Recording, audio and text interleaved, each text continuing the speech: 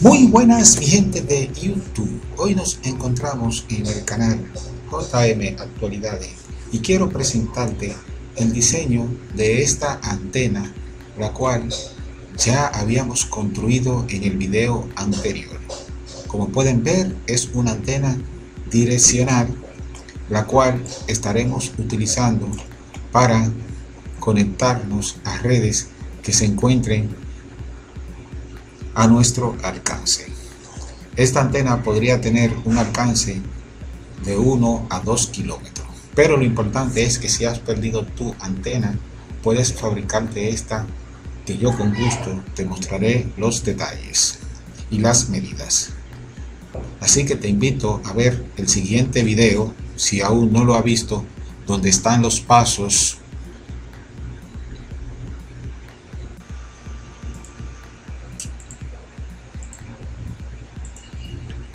En este video, como puede observar, ya se encuentran, se encuentran los pasos y la antena ya fabricada.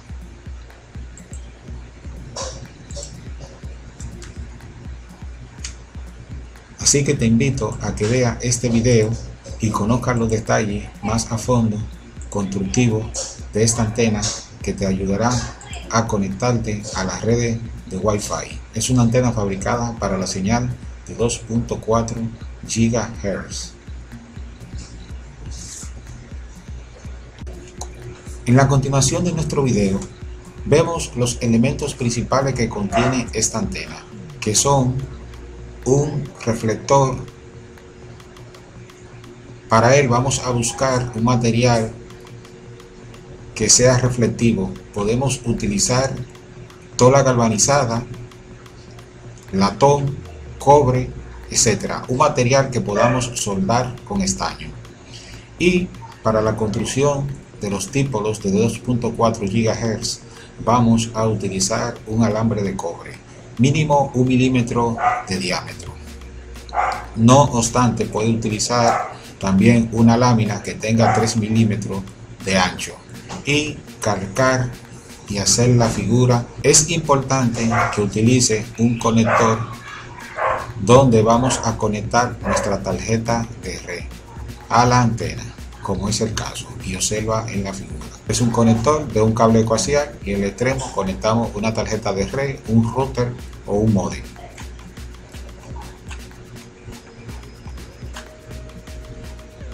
Fíjate. Entonces, vámonos con los detalles de este diseño de la antena para zonas de internet gratis.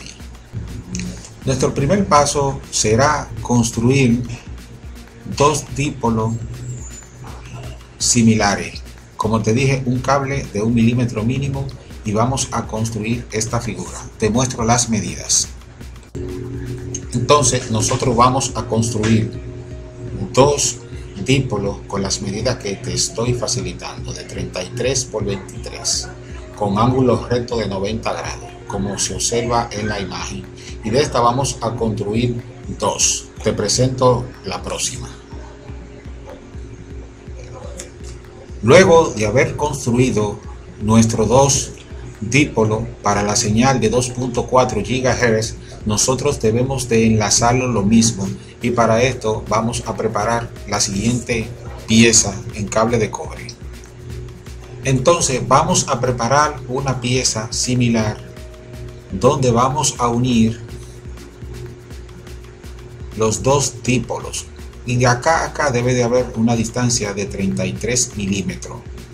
Pues igual a la del dipolo para que esta antena pueda funcionar correctamente. Así que te mostraré las medidas siguientes. Ok acá ya se encuentran todos los detalles con las cotas de nuestra antena que son necesarias para la fabricación de nuestro dipolo como podemos observar, 33 milímetros cada distancia, una altura de 23 y las medidas que se observan de 8 milímetros, 66 10 de 32. Con esta medida ya tú puedes construir esta antena que de seguro te ayudará bastante. La puedes ubicar dentro de tu casa o fuera a la intemperie, a la altura que tú desees.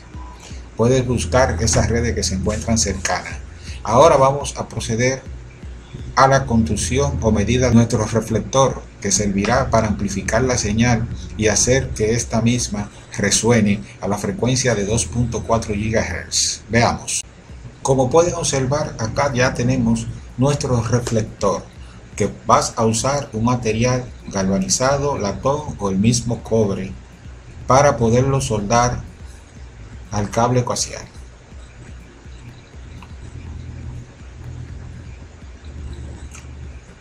En esta parte dejé esta sesión para aterrizar el cable coaxial a la malla. Pero si este material fuese de uno que tome soldadura de estaño, solamente puede hacer esta parte y aquí soldar las mallas. Pero como no puedo soldar la malla porque este material era de aluminio, decidí hacer esta sesión y unirla con tape como se ve en el video anterior. Ahora vamos a presentarte las medidas. Si observa la figura, ya acá tenemos todas las cotas necesarias para la fabricación de la antena Wi-Fi para zonas donde hay internet abierto, 130 por 75. Y ya los detalles están acá abajo de las medidas que se necesitan para ubicar al centro la parte donde vamos a unir a la malla del cable coaxial. Sin embargo, ahora vamos a presentarte ya el cable coaxial, el modo de unión y ya nuestra antena estaría lista. Veamos. Por último, ya acá tenemos colocado nuestro cable coaxial que vamos a soldar el centro a la parte del dipolo y nosotros vamos a aterrizar la malla a nuestro reflector de la antena. Y acá vamos a conectar nuestra tarjeta de red nuestro modem o router. Como pueden observar, queridos amigos, es una antena bien fácil de fabricar.